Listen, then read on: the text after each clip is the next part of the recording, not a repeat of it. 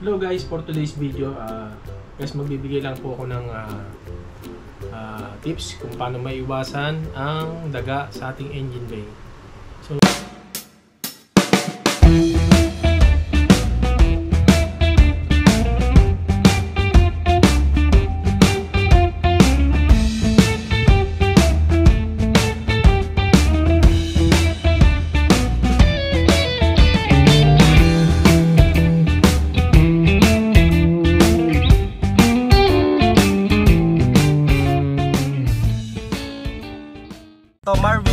Ricamoras uh, Bilas TV.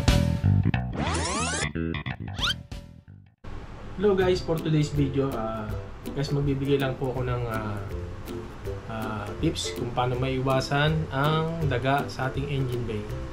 So guys, uh, ito ay very effective guys, nasubukan ko na. Naglagay lang ako ng paminta guys. Naglagay lang ako paminta sa engine bay. Sinubukan ko lang din, nakita ko lang din sa YouTube. Oh, guys, nilagay ko. So, yun guys, hindi na nga pinuntahan ng daga. So guys, pakikita ko sa inyo kung ano yung ginawa ko. Pamintang pino ang nilagay ko guys. Pero mas maganda rin daw, yung pamintang buo, lalagay mo sa isang net, tatali mo, tapos lagay mo dun.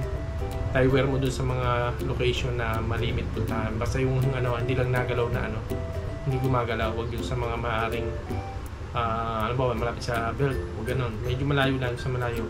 Tapos niya, pipix mo siya ng tie wire.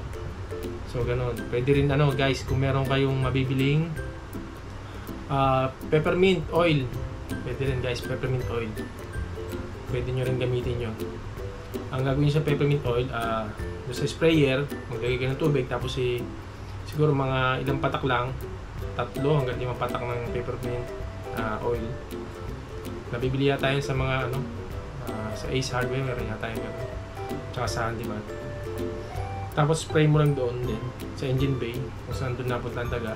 Tsaka sa paligid ng garahe mo, pwede ka rin mag-alaga ng peppermint ah, plant. Meron din yata nabibili gano'n.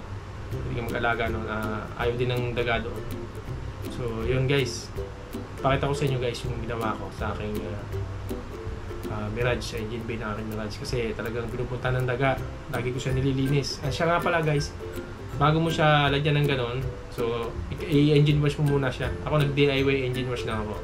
Meron din ako sa video ko noon dito sa aking ah, ah, YouTube channel. Ah, check nyo na lang kung gusto nyo panoorin kung paano ginawa kong engine wash.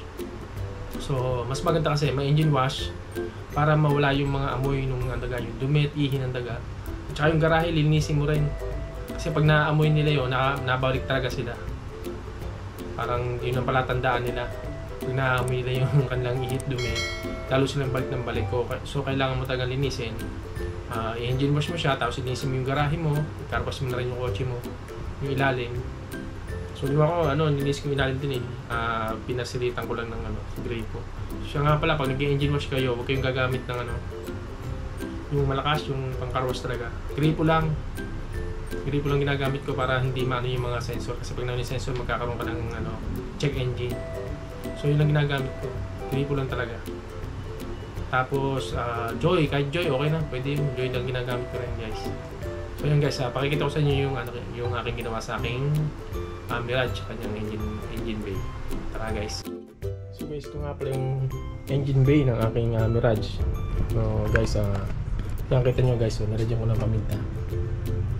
Medyo nawala na yung iba kasi pinandar ko kahapon, ginamit ko. So naglilagan. Bago ko nilagyan ng ganyan, ng paminta, in-engine wash ko yan guys. Paminta. Sa battery. Malimit dito sa battery, nag-stay yung daga dito. May dumi pa nga dyan, tsaka basa-basa, parang umihi. Tsaka dito sa lagay ng mga fuse, relay. Box na yan. Tsaka dito, yan. Buti hindi naman siya nagngangat-ngat ng mga wires. So, salamat ano at hindi siya nag ngat-ngat, nagputol ng mga wires. Tsaka dito guys, napunta siya yan, basa-basa yun dati. So nung nilagyan ko, pumunta, pumunta siya, bumalik siya ng isang beses, pero nung naamoy niya yung paminta, so hindi na siya bumalik. Isang beses lang siya bumalik, tapos hindi na bumalik. Hindi, hindi na siya bumalik. Bakit bumisita lang siya, nung naamoy niya, hindi na bumalik yung daga, nawala na talaga.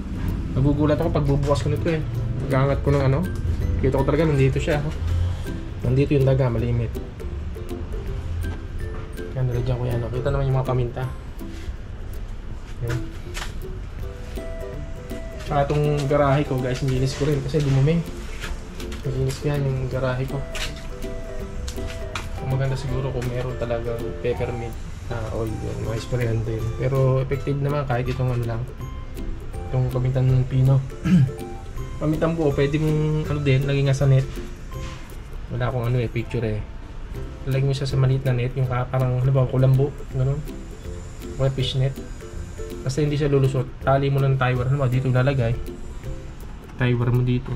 Tapos kung saan mga ita-timer siya dito. Huwag lang dito malapit dito. Baka malaglagat na ako. Baka magka-problema pa. Pero kung sa akin, para sa akin, yung pamintang pino, okay na eh. Lalo siguro yung pamintang crack lang. Yung crack, mas mamoy siguro yun. Subukan ko na lalagyan. Dadagdagan ko ito mamaya kasi na Naalis na nga, nagaglagang gawa ng napaandar ko yung makina. Pinandar ko. Ginamit ko isang araw. Nagpakarga ako ng gasolina. Since bukas, tataas na uli ang gasolina ng 2 piso. Kaya nagpa-full tank na ako kanina. Ay, stay kahapon pala. Guys. So nga pala to, 2SM na yan guys, convert ko. Dati 1SM yan, 2SM na. Tinanggal ko lang yung pinaka-plastic, yung pinaka-casing. So swak naman, okay. Mas ano siya, mas para sa akin mas okay siyang gamitin. Tulad sa 1SM. Ayun guys. Sana makatulong sa mga nagkakaproblema sa daga. So yan guys, paminta lang, pamintang pino. Ang solusyon. Basta i-engine wash muna siya. Linisin nyo para mawala yung mga ihi at saka dumi ng daga. Mas kasi hindi mo siya nilinis, naamoy nyo, babalik at babalikan nyo yan guys. So subok na to paminta guys.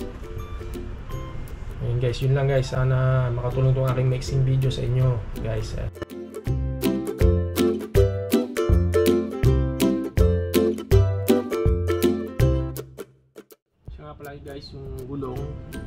Kayong peppermint na spray, peppermint oil na nakalagay sa sprayer na may tubig, no?